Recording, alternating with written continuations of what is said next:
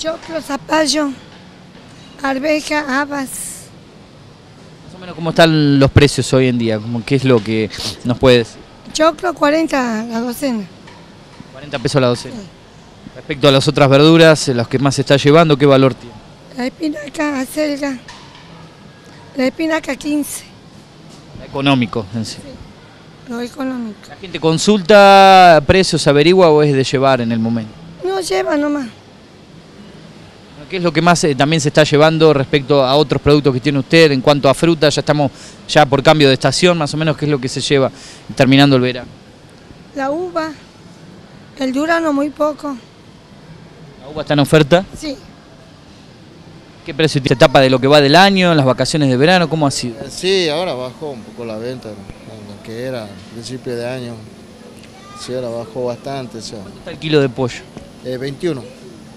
Los otros productos que ofrecen vemos albóndigas, milanesas, ¿qué más tiene? Sí, tenemos bife, por ejemplo, de 60, la milanesa de 50, milanesa rellena de 60, tenemos croqueta de 60, albóndiga de 50, tenemos arrolladito de 60, patinesa de, 60, de 50, y después el pan de pollo por unidad 50 pesos.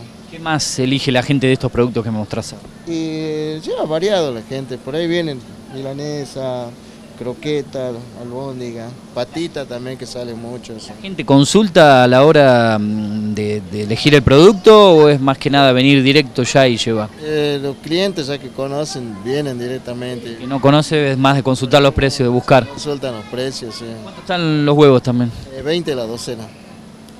Están esperanzados de que comience un poquito a, mejorar la venta, el trabajo, ¿no? Sí, sí, estamos esperanzados en eso. eh. ¿Piensan que ha bajado en sí la venta por estar próximo a las elecciones, por las vacaciones, porque la gente por ahí no cuenta con tanto dinero? Eh, pasa que bajó, pienso yo que el tema de la- las clases, ya muchos se van a buscar útiles, ya por eso bajó.